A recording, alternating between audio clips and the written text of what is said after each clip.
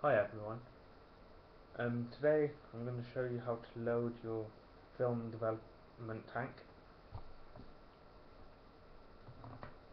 Have your lid, your screw on top, your tank and your wheels.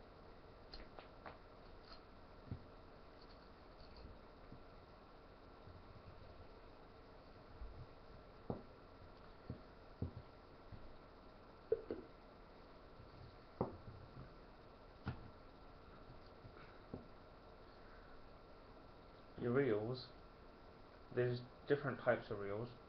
I've got plastic and and you need to get your film onto these reels before you can start developing. So what you do, get your film, you need to cut this leader off, this L shape,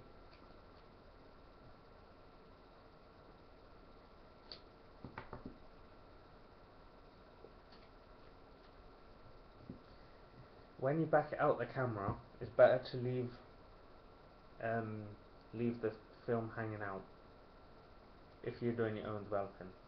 If you're taking it into a lab, then you can rewind it all the way in. Okay, so what you do, put your film in, get it past the ball bearings,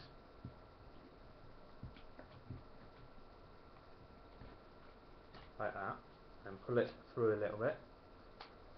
Now what you can do is you can just go ahead and ratchet it on.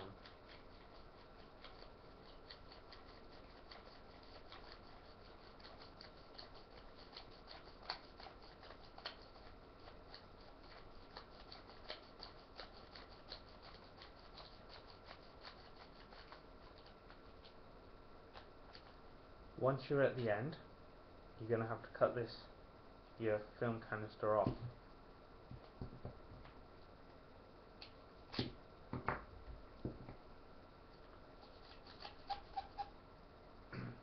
now you put it through your spindle.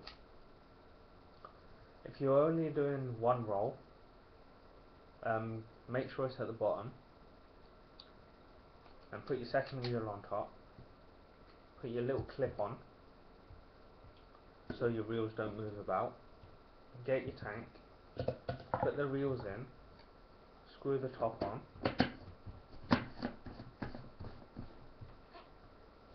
put your lid on. Now you are ready to develop your film.